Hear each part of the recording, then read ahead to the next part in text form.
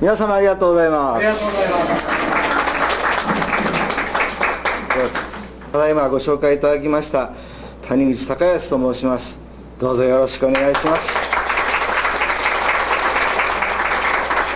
えー、私は成長年本部を辞めましたのがもう6年前ですね。そしていろんな噂が立ちましたですね。本部内に。あるいは教団内にですね。なんで辞めたんだろうか。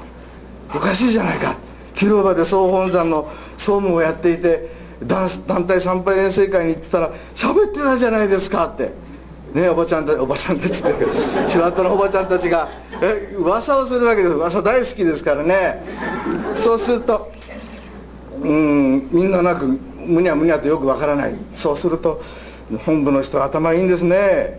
不可思議な理由をつけていや谷口孝康さんは自分の好きなことができたからそのために本部を辞めて長崎に行っちゃったんですよとこういうふうに語った方がいるらしくてですね。どうもそれが尾ひれはひれつけてうわーなんだあの人は成長の絵を捨てて辞めてしまったんだと。こういうことでけりがついているようでございますが、えー、私はそれやはりあの私は谷口家谷口家の谷口清張先生の息子ですから谷清張先生皆様ご存知だよくご存知だと思いますね。皆様の年代の方だったら青年会の時にご指導いただいたとかいろいろな連成会でご指導いただいたとか、えー、私は子供ですからずっとご指導いただいてるんですが あの私の父が一番強く言っていたことは日本人である。日本人である以上正しく生きなさい。正直に生きなさい。ということでしたね。はい私あの本を読んでもらった方は分かるんですが散々親にご迷惑をかけてきた第一部などはですね今笑える人は読んだ方笑ってない方何のことかさっぱり分からない方はぜひお読みいただきたいんですが孫の本なんて読むもんかとこう思われていてもですね皆さんねこの本には価値があるというのはめくるとですね谷口正治先生の写真があるんですね。けても価値がまあ孫を抱いてますけどね。えまあお許しいただきたいと思うんですね。孫だったもんですから抱かれてしまったんです。ちょうどこれは、えー、私はちょうど56歳になりましたのでちょうど56年前の谷口正治先生のお写真ですね。話があっちこっち飛びますがこちらにも谷口正治先生いらっしゃいますが皆様教団にいらっしゃった時は気が付かれたと思うんですが谷口正治先生のお写真がある時からもう本当に晩年のお写真しか表に出なくなりましたですね。不思議だったでしょ？それで教区の保護者の皆さんが本部にもっと若い時のお写真はないんですか？とこうで問い合わせがあるんですよ。そうするといやあのカタログにある写真しか出せないんですと苦し紛れにね私たちは言ってたの。それで僕もあの時随分抵抗したんですがなんでこんなふあのねもう車椅子に座られているようなお写真ばっかり載せるんですもっと若い時のって。だって若い時のお写真を出したら今も生きてらっしゃると思われるじゃないかと。こういう面白いことをおっしゃる方がいるんですね。いいじゃないですか生きていらっしゃると。私たちの心の中で谷口正先生生きてますよね。ね。いいじゃないですか。まああの事実を知らせたらあこれは若い時の写真ですの一言でいいわけですからね。そういうまあ不可思議な状況があ私がいる頃から続いておりまして結果は今日のようなあ何とも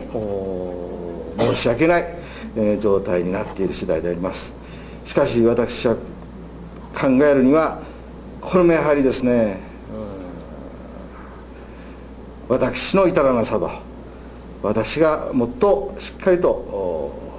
成長年の見教えを勉強してしっかりと守っていかなければいけなかったなというふうに、まあ、つくづく今も思っている次第であります。どうもまあこんな場所でありますが皆さんに心から現在の状況をお詫び申し上げなければいけないと思います。どうもすいません。それでまあ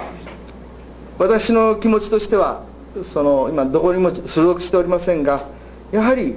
本来のあの谷口正治先生と清張先生4先生ですね。照子先生美子先生。あの当時の全国大会に皆様ね行かれたことがあると思うんですがあの時のような雰囲気そして男の人たち総愛会の人たちがね本当に国のことを思い立ち上がってね日の丸を振って、えー、この靖国神社にもよってですねそして日本国実相権限の運動をやると。一丸となってやると。あのような時代再びまたですね、えー、が訪れること。そして私たちの教え親である先生はただ一人谷口正治先生であると。いうことを中心にしっかりと持った本来の成長年に戻ること。これが私の目指すものであり望むものでありそしてそのことについていかなる場所に行ってもこれを声高らかに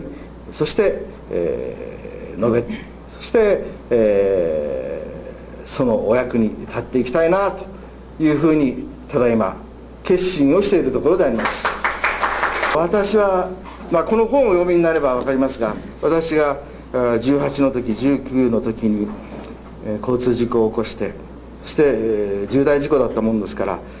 人が亡くなり重軽傷を人に負わせるという結果になってまあ同乗者なんですけども、まあ、その話はいっぱい書いてありますので、まあ、詳しくお読みになりたい方読んでいただければ結構なんですが。そして私はその時に自分、まあ、ずっと小学生中学生高校生まあ高校生ぐらいはもう何て言うかないやいや言ってた部分があったんですが連成会にね皆様のご姿勢と同じように中高連生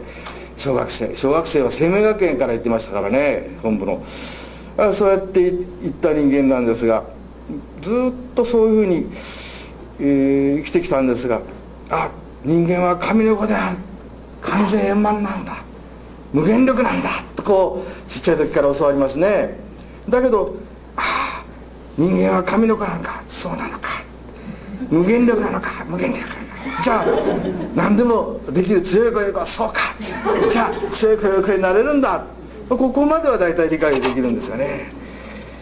人間は肉体ではない。現象はない。肉体ではない。これさっぱり分からなかったですね。あの先ほどあの体験発表された海蔵正幸さんね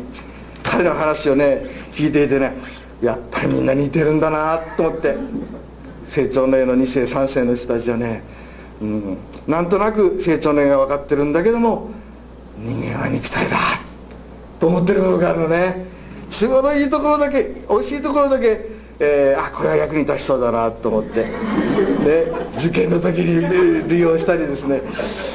するわけですが本当の成長のの真髄と言いましょうかね。人間は肉体ではない。霊的実際なんである。神そのものの命が我がうちに宿っているのである。というですね根本真理がなかなかわからないんですね。そして、えー、そのことはですね小さい時から例えば政教観論の方読まされるんですね私の場合はね。真相感も。物心心ついたところから輪になって夜寝る前に真相感をする。だから昇進化は